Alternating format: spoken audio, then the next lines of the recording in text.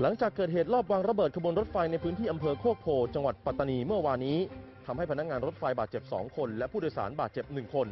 วันนี้การเดินรถไฟในพื้นที่ 3 จังหวัดชายแดนภาคใต้ ตั้งแต่สถานีรถไฟชุมทางหาดใหญ่ถึงสถานีสุไหงโกลก จังหวัดนราธิวาสเปิดให้บริการรถไฟเที่ยวสุดท้ายในวันนี้ เป็นขบวนรถ 171ทับ172 กรุงเทพสุไหงโกลก กรุงเทพ ก่อนที่จะหยุดเดินรถทุกขบวนชั่วคราวอย่างไม่มีกำหนด ตั้งแต่วันพรุ่งนี้ ส่วนขบวนรถจากสถานีรถไฟชุมทางหาดใหญ่ไปยังภาคใต้ตอนบน รวมถึงกรุงเทพ ทั้งจังหวัดพัทลุง นครศรีธรรมราช สุราษฎร์ธานี ชุมพร กรุงเทพ ยังให้บริการตามปกติทุกขบวน แต่หยุดจะสิ้นสุดการเดินทางแค่สถานีรถไฟชุมทางหาดใหญ่เท่านั้น ทั้งนี้เพื่อรอดูมาตรการรักษาความปลอดภัย รถไฟของเจ้าหน้าที่ฝ่ายความมั่นคง